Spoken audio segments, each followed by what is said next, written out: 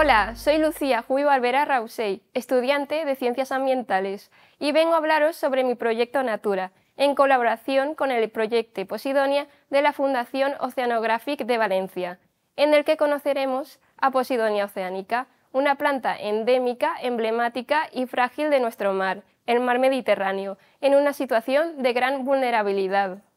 A través de la metodología aprendizaje-servicio y aprendizaje basado en proyectos, se elabora una secuencia de trabajo en el que los alumnos de cuarto de la ESO aprenden sobre la botánica marina, un área de conocimiento normalmente olvidada en las propuestas de educación, y realizan un servicio transmitiendo conceptos básicos sobre la especie Posidonia oceánica y los ecosistemas costeros marinos que forman, a través de la elaboración de un proyecto para los de sexto de primaria.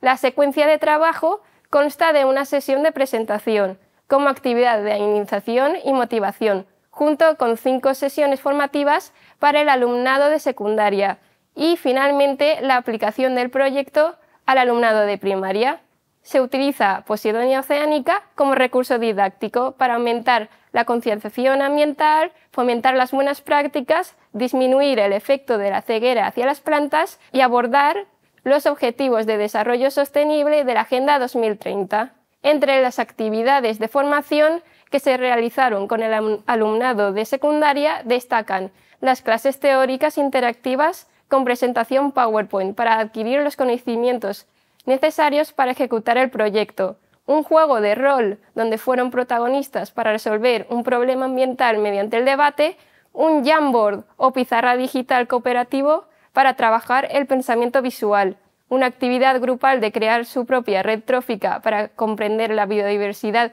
que habita en las praderas y finalmente una visita guiada por las instalaciones del Oceanographic de Valencia, en la que incluye la realización de un experimento científico en el laboratorio, que consistió en el análisis de mesoplásticos de muestras reales de Posidonia. Para preparar el proyecto a primaria se les dieron las herramientas y orientaciones necesarias para que fueran ellos quienes idearan una propuesta creativa y crearan su propio contenido y material didáctico. Se llegó a la decisión de que el proyecto se tratara de una feria de ciencias con nueve puestos donde el alumnado de primaria trabajaría en distintos aspectos de Posidonia oceánica como se muestra en pantalla. Finalmente, el proyecto se llevó a cabo en el patio del colegio, donde cada puesto integraba diferentes actividades interactivas para sexto de primaria, en los que destacan una representación teatral, la realización de juegos y el uso de manualidades. Esto es todo y espero que os haya gustado. Muchas gracias.